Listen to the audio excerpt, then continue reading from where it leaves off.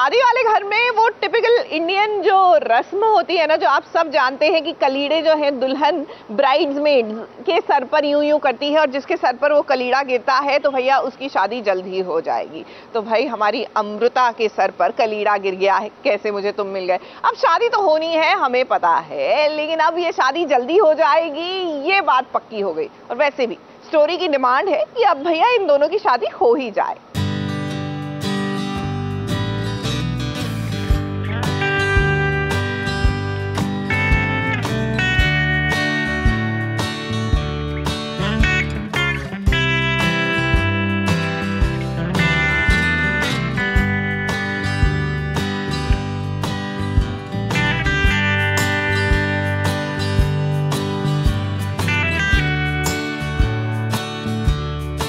जरा अमृता को गौर से देखिए। उसके बालों में लगे इस कलीरे पर ध्यान दीजिए। अब विराट की बहन निमृत की शादी हो रही है। तो ऐसे में जब कलीरे गिराने की बारी आई तो भाई एक कलीरे देखिए, अमृता के सर पर गिर गया।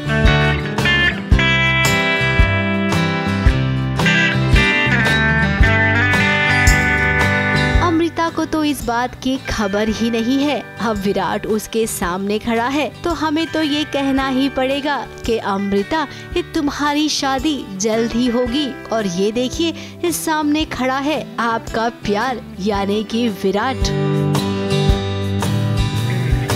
आफ्टर ऑल प्रोसेस है। अभी तो फ़िलहाल इन दोनों के बीच एक कोई तालमेल बैठ नहीं रहा है। लेकिन अब वो दिन भी दूर नहीं है, जब ये दोनों एक दूसरे से बेइंतहा मोहब्बत करने लग जाएँगे। ये बात हम आपसे इसलिए कह रही हैं, अब इशिता है ना, जो अमृता के पिता से प्यार करती है, वो धोखे से अमृता को बंदी बना देगी और उसके बाद विराट आएगा उसे बचाने के लिए।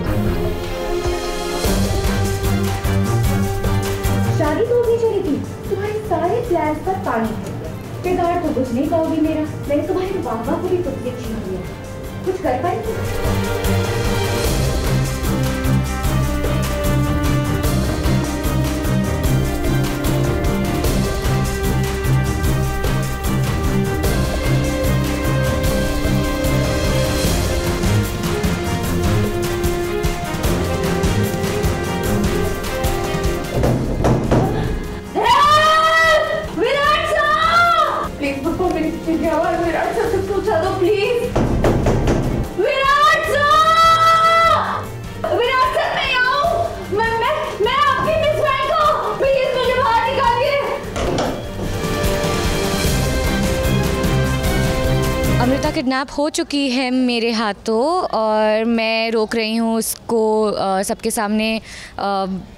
पर्दाफाश करने से राजीव का। मैं इसीलिए उसको किडनैप करती हूँ कि निमृत की शादी अच्छे से हो जाए बिना किसी रुकावट के। हाँ भाग चुकी है उसको विराट ने बचा लिया। तो देखा ना आपने एक कैसे ना चाहते हुए भी एक किस्मत इन दोनों को मिलवा ही देती है।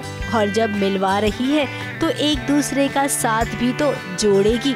बस हमें इसी पल का इंतज़ार है। मुंबई से सोनू शुक्ला के साथ ABP news report